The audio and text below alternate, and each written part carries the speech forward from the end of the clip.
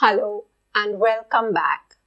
Today we are going to learn the 44 sounds in the English language or the 44 phonemes. Now we are going to learn them a little differently from the way we were taught when we were kids.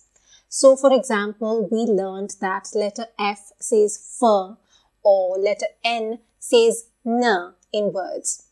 But when we are going to be teaching our children this time, we are in fact going to teach our children that letter F says f or N says n.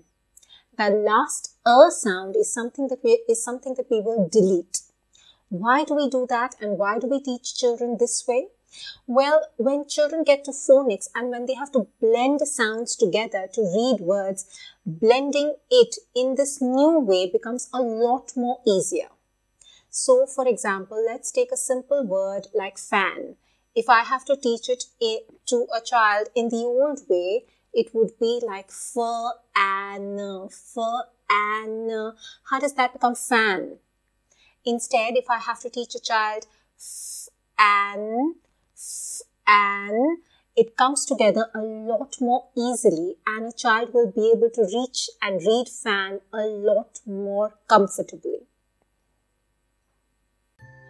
A. A. As in alligator. B. B. As in ball. K. K. As in cat. D. D. As in dog. E. E. As in elephant. As in fish. G, g, as in goat. As in horse. I, I, as in itch. J, j, as in jelly. K, k, as in kite. L, l, as in lion. M, m, as in monkey. N, n, as in nest. O, o, as in octopus. P, p, as in parrot. R, r, as in rat. S, s, as in sun. J, j, as in in the middle of treasure. As in tap. A, a, as in umbrella. Z. Z as in van. W, w, as in watch. Y, y, as in yellow. Z, z, as in zip.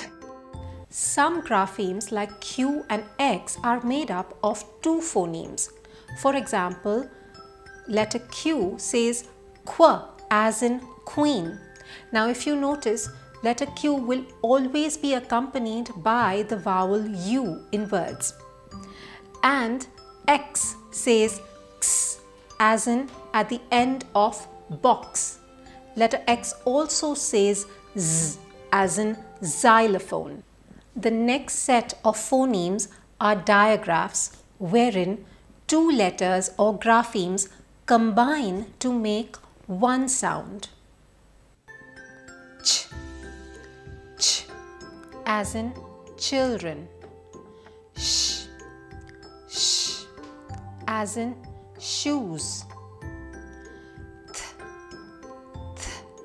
as in horn. The, the, as in there. Ng, ng, as in in the end of the word sing. We will now move on to diphthongs where we combine two vowel sounds to come together to make one sound in a syllable. A, A, as in the middle sound in rain. O, O, as in in the end of the word saw. E, E, as in in the end of the word tree. I, I, as in the middle sound in light. O, O, as in the middle sound in boat. U, U, as in utensil. Oo, oo, as in the middle sound in mood. Ow, ow, as in the final sound in cow. Oi, oi, as in the final sound in boy. Lastly, let's look at the R controlled vowels. R, R, as in in the end of the word car.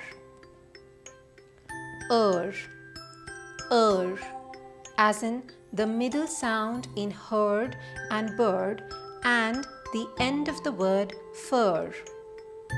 Air, air, as in the final sound in chair. Ear, ear, as in the final sound in near. Or, or, as in the middle sound in fork.